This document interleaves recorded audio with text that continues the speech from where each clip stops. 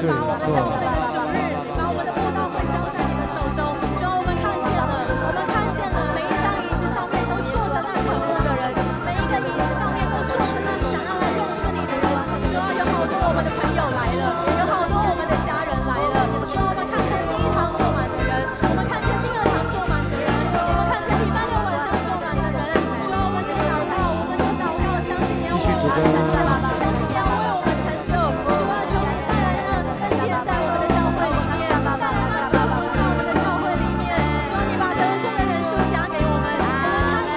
你。谢谢你，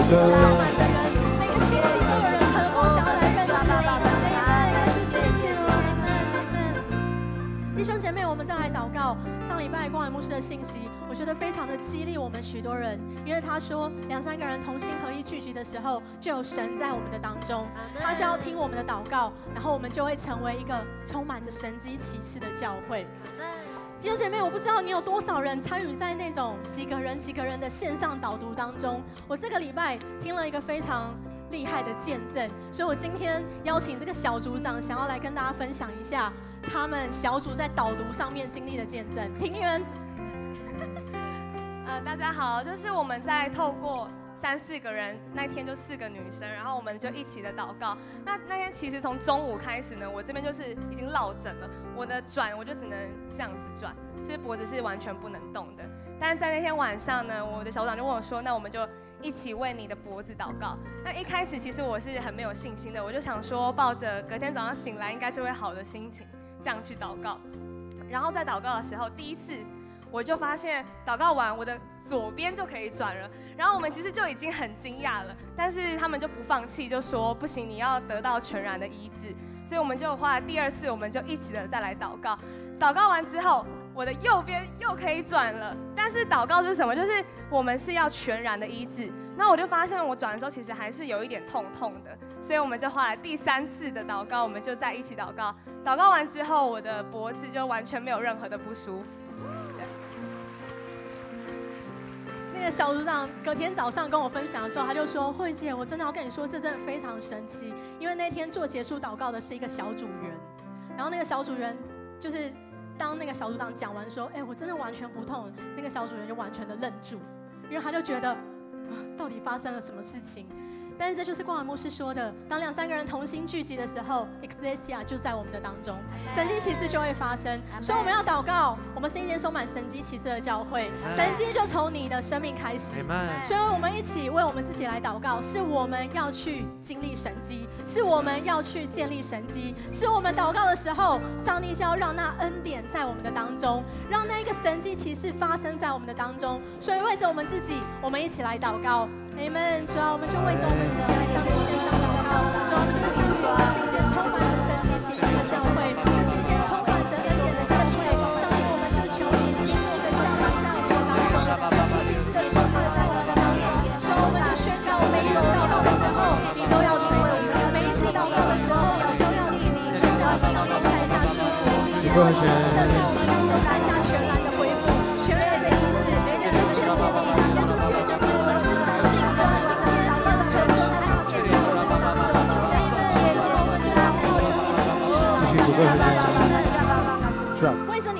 小组来祷告。当你每一次小组聚集的时候，不是只是分享聊天而已，是神的同在要在我们的当中，是我们要开始带出神迹奇事。所以，我们为着我们的小组来祷告，在今年，让我们每一个人的小组都经历一个突破，让我们每一个人的小组都经历一个复兴。所以，当你闭上眼睛祷告的时候，你要去看见你每一个小组员的脸，然后你要为他祝福。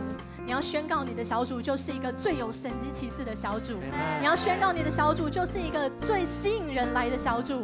我们一起为着我们的小组，我们来祷告，Amen，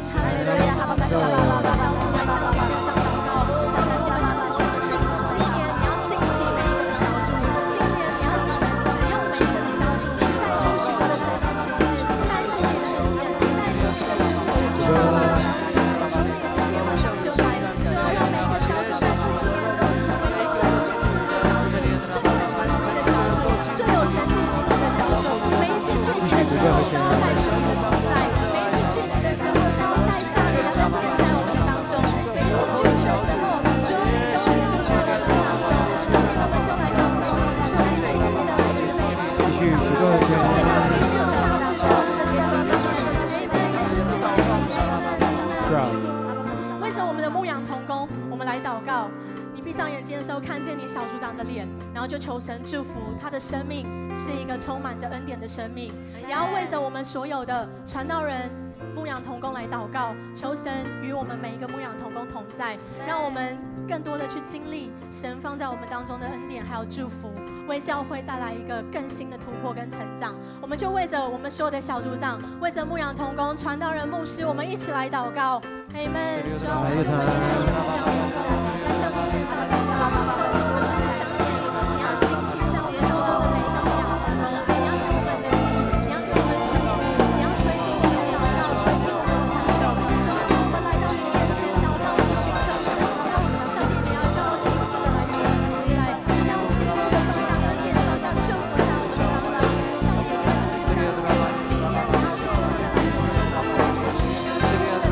的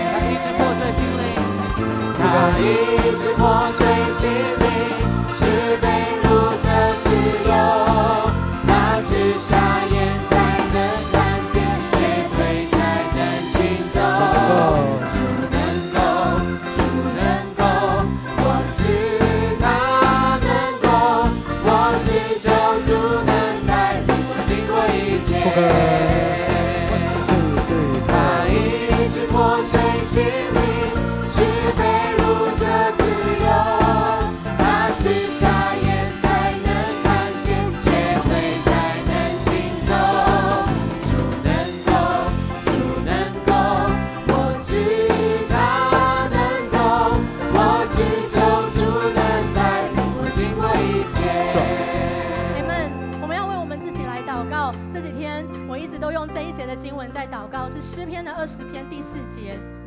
这里说到，将你心所愿的赐给你，成就你的一切筹算。上帝的话语告诉我们，他要将我们心里所愿的都赐给我们，而且他要成就我们一切的筹算，就是你正在做的计划，你正在做的规划，上帝也说他要成就。所以今天晚上为着你自己来祷告，你心中所愿的是什么？你所在做的计划是什么？你所在做的筹算是什么？你带着什么需要来？今天晚上，上帝说他要将你心里所愿的赐给你，他要成就你的一切筹算。所以，我们一起为我们自己来祷告。不管你心里所愿的是什么，这节经文今天要成为你的帮助。不管你正在做的计划筹算是什么，这节经文要成为你今天晚上的祝福。我们就为着我们自己，我们来祷告。Amen。主啊，今天晚上我们就来